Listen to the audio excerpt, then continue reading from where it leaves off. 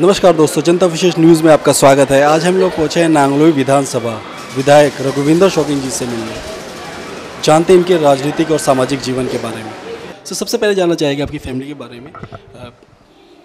हाँ मेरे father superintending engineer थे हरियाणा इरीगेशन डिपार्टमेंट में। और मेरा छोटा भाई भी इंजीनियर है, वो लंदन रहता है। मेरी वाइफ निहाल विहार में राजेंद्रा पब्लिक स्कूल है। उसमें प्रिंसिपल है और स्कूल को संभालती हैं। सर यहाँ पे विधानसभा के अंदर जैसे आपका आना हुआ एकदम से क्या शुरू से ही आपकी रुचि क्या सिर्फ़ राजनीति में थी या एक सोशल एक्टिविस्ट बन गई आपको सोसाइटी में सर्व करना था? मैं तो सोशल एक्टिविटीज़ ही लगा लीजिए बन के ही। यहाँ से मेरे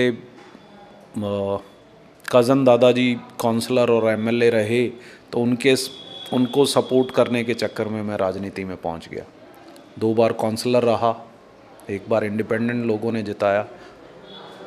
उसके बाद आम आदमी पार्टी आई तो मुझे लगा कि ईमानदारी के साथ अगर किसी पार्टी में काम किया जा सकता है तो आम आम आदमी पार्टी में काम किया जा सकता है और जनता के लिए बेहतर काम किया जा सकता है। तो आम आदमी पार्टी ने मुझे यहाँ से एमएलए का टिकट दिया और लोगों ने मुझे यहाँ से एमएलए बनाया। सर, एक और चीज़, यहाँ से फैमिली का बड़ा इम्पोर्टेंट रोल होता है खास तौर से जब आप सामाजिक स्तर से काम कर रहे हो। क्या फैमिली का वो सपोर्ट आपके साथ था कि आप समाज में सेवा कर सके?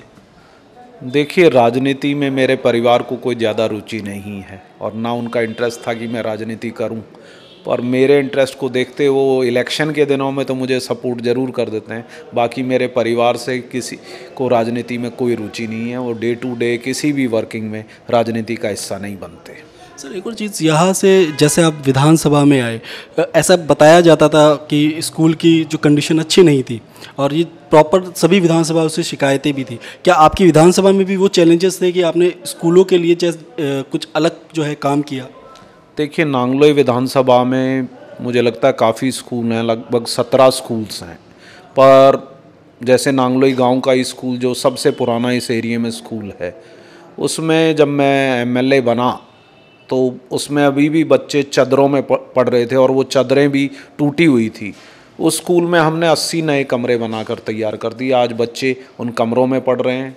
तो एक एक ये बहुत बड़ी अचीवमेंट है कि उस स्कूल में, उस स्कूल में मतलब लगा लीजिए अंग्रेज़ों के टाइम का स्कूल है। वो सौ साल से भी पुराना स्कूल है। आज उसमें बहुत शानदार बिल्डिंग बनकर तैयार हो गई। इसके अलावा और भी लगभग 250 के करीब कमरे नांगलोई विधानसभा में बनकर तैयार हो गए और 200-250 कमरे अभी बन रहे हैं। एक अंबिका विहार स्कूल था, उसमें बहुत कम कमरे थे, उसमें भी वो बिल्डिंग पूरी तोड़कर वो स्कूल दोबारा दोबारा बनाया जा रहा है, जिसमें लगभग 80 पिचासी कमरे बनकर तैयार हो जाएँगे। तो ऐसे हमने स्कूलों में, और मैं तो स्कूलों में एक बदलाव की एक छोटा सी बात करूँ।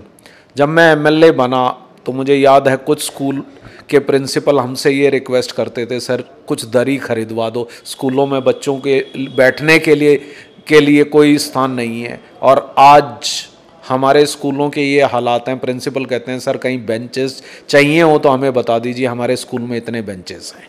तो ये जो ये जो सॉरी ये जो बदलाव हुआ है आपको लगता है कि सरकार का जो योगदान रहा है इसमें कहीं ना कहीं इस बदलाव में आप खुद देखते हैं क्योंकि आप खुद विधायक भी है तो ये तभी संभव हो पाया जब सरकार की रणनीतियाँ स्कू- स्कूलों के प्रति ऐसी देखिए ये तो मैं हमारी सरकार ने जो एजुकेशन पे ध्यान दिया उसके लिए लगभग 25 परसेंट बजट एजुकेशन पे दिया ये उस सब का नतीजा है। मनीष जी और उनकी पूरी टीम ने जो इसके लिए कार्य किया और मैं तो कहता हूँ प्रिंसिपल्स और टीचर्स ने भी जो योगदान दिया, वो ऐसा इतना शानदार काम करके दिखाया आज उसके रिजल्ट्स आने लगे हैं और आने वाले समय में मैं सोचता हूँ प्राइवेट स्कूल से बेहतर।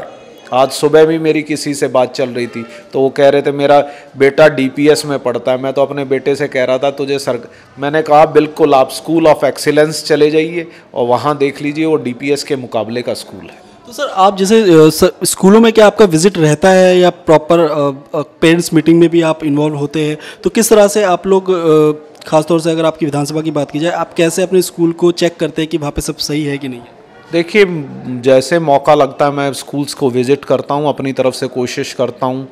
साल में एक स्कूल में पाँच दस चक्कर लग ही जाते हैं। कोशिश करता हूँ कि हर स्कूल में जाकर एक बार, जहाँ काम चल रहा है, वो भी देखने चला जाता हूँ। तो क्यों सिविल इंजीनियर हूँ तो वो कंस्ट्रक्शन देखने का शौक़ ज़रूर है कि काम बढ़िया चल रहा है या नहीं चल रहा है। तो उस नाते मैं स्कूल जाता रहता हूँ और बहुत प्रिंसिपल बहुत अच्छा कार्य कर रहे हैं। उसको देखकर बहुत अच्छा लगता है कि हम अपने समाज को आगे बढ़ाने के लिए इतना अच्छा कार्य कर रहे हैं। सर, जिस, ये तो एक गवर्नमेंट स्कूल की बात है। अब जैसे प्राइवेट स्कूल होते हैं पीछे अभी देखा भी गया था कि कुछ समय पहले से स्कूलों की मनमानी चली या फ़ीस बढ़ा दी गई उनकी क्या आपकी विधानसभा क्षेत्र में भी ऐसी कोई शिकायत आपके पास आई? नहीं ऐसी हमारी विधानसभा में कोई ऐसी शिकायत नहीं है। स्कूलों ने फ़ीस बढ़ाई थी पर कोर्ट के ऑर्डर के बाद उन्होंने वो विड्रॉ कर ली। ऐसी कोई शिकायत नहीं है। सर जैसे कि मोहल्ला क्लिनिक हर विधानसभा में चलाए जा रहे हैं आप किस स्वास्थ्य के लिए आपने किस प्रकार से कार्य किया? देखिए आज के दिन नांगलोई में नौ मोहल्ला क्लिनिक चल रहे हैं। पूरी दिल्ली में 300 मोहल्ला क्लिनिक चल रहे हैं और उसमें से नौ मोहल्ला क्लिनिक नांगलोई विधानसभा में है। और हमारे यहाँ छः मोहल्ला क्लिनिक तो बहुत पहले से चल रहे हैं। लगभग दो से ढाई साल हो गए, शायद तीन साल भी हो गए हैं। छः मोहल्ला क्लिनिक हमारे यहाँ चल रहे हैं और मेरे यहाँ अभी भी कोई सजन बैठे थे। वो कह रहे थे, सर, और मोहल्ला क्लिनिक की ज़रूरत है। आप मोहल्ला क्लिनिक में बहुत भीड़ होती है। क्यों? देखिए, लोगों को जो मुफ़्त में दवाई और बेहतर इलाज मिल रहा है मेरे यहाँ अनऑथराइज कॉलोनी में पाँच मोहल्ला क्लिनिक चल रहे हैं, जिनमें से तीन सुबह सात से शाम को सात बजे तक चलते हैं। क्यों? इतनी जनता वहाँ दिखाने के लिए आती है तो ये एक बहुत बेहतर डिसीज़न जो हमारी सरकार ने लिया, एक बहुत सराहनीय काम है और आम जनता को इसका बहुत फ़ायदा मिल रहा है। इसके अलावा एक 600 बेड का हॉस्पिटल हमारी विधानसभा में, मैं कल मनीष जी के पास गया था तो उसके भी पैसे हमें मंडे या ट्यूसडे को कमेटी की मीटिंग है, उसमें सेंक्शन हो जाएँगे और मैं उम्मीद करता हूँ अगले पंद्रह से बीस दिन के अंदर हमारा वो टेंडर कॉल हो जाएगा तो बहुत जल्दी हमारे क्षेत्र में एक 600 बेड का हॉस्पिटल भी बन जाएगा। सर, नांगलोई विधानसभा में विशेष तौर से सड़कों को लेकर के बीच में था विवाद की सड़कें जो बन रही है या गवर्नमेंट की तरफ़ से जो सड़कें बननी चाहिए, क्या आप जो नई सड़कें बनाने का जो काम है या सीवर लाइन का है उसमें आप सक्षम रहे सर करवाने में? विवाद हमारे यहाँ क्या है शीवर प्रोजेक्ट चल रहा था और जब शीवर प्रोजेक्ट चल रहा होता है तो लोगों को बहुत परेशानी होती है, क्यों? शीवर कोई छोटा काम था नहीं नांग Nihal Vihar and allied colony में लगभग एक सौ अड़तीस किलोमीटर शीवर लाइन डाली गई है। और एक सौ अड़तीस किलोमीटर शीवर डाल, लाइन डालना बहुत लंबे समय में 50 फुट रोड है, उस पर शीवर लाइन डाल, डाली गई। वो लगभग एक साल का समय उसने लिया। और उसके बाद क्या होता है लैंड को सेटल होने का भी, के लिए भी टाइम दिया जाता है कि लैंड सेटल हो जाए। क्यों नहीं तो वो सड़कें बैठ जाती हैं। तो उस वजह से जब सड़कें नहीं बनी थी तो लोगों को परेशानी थी। अब हमारी मेजॉरिटी में सड़कें बनकर तैयार हो गई तो अब लोग सब खुश हैं। क्या आपके यहाँ पर लोगों तक राशन की जो सुविधा है वो सही पहुँच रही है सचिन मेरे यहाँ बढ़िया है ऐसी कोई समस्या आती नहीं। मैं तो जो जो भी समस्या आती है उसके अब हम कोशिश करते हैं जल्दी से जल्दी निदान ऐसा हमारे यहाँ कोई समस्या है नहीं राशन के बारे में। मतलब ये कोई भी जो गर, जो गरीब जनता है जो आपके क्षेत्र की विधानसभा क्षेत्र की वो वहाँ तक उनको वो सीधा पहुँच रही है। हाँ जनता तक उसका राशन पहुँच रहा है। हाँ ये समस्या ज़रूर है कि जो दिल्ली का एक कोटा फिक्स है, उससे ज़्यादा लोग राशन कार्ड बनवाना चाहते हैं। हमारे क्षेत्र में भी बहुत से लोग हैं जो राशन कार्ड बनवाना चाहते हैं, जिनके राशन कार्ड अब बन नहीं पा रहे हैं। क्यों? दिल्ली का कोटा एक सत्तर लाख का है, उससे ज़्यादा लोगों को राशन दिल्ली सरकार नहीं दे सकती। तो उस वजह से कुछ समस्याएँ हैं। सर, आगामी विधानसभा चुनाव अब फरवरी में है और क्या कहना चाहेंगे सर आप अपने क्षेत्र की जनता को? मैं आपके चैनल के माध्यम से यही कहना चाहूँगा कि हमने अपनी तरफ़ से दिल्ली सरकार ने और हमने अपनी तरफ़ से बेहतर से बेहतर कार्य करने की कोशिश की है और हमारी आगे भी बहुत सारी योजनाएँ हैं।